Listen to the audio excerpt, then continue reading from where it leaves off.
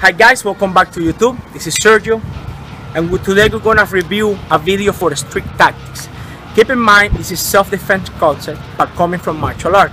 This is towards somebody who doesn't know martial art. But in this video I want to give you a 50% chance more of winning a fight, which is a concept that you may find in different systems. In this case it's blocking and attacking at the same time and how to stop your opponent movement. Okay, for instance, let's suppose Let's suppose he's coming to attack me, okay?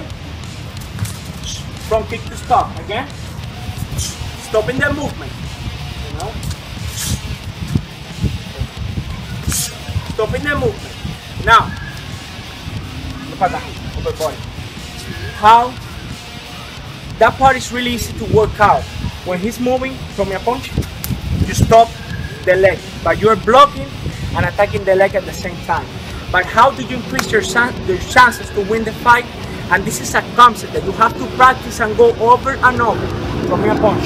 So you block and punch at the same time. Block and punch. Block and punch. Block, block and punch. So the idea is to get that concept really basic. From me allá. Block and punch. Again. Block and punch.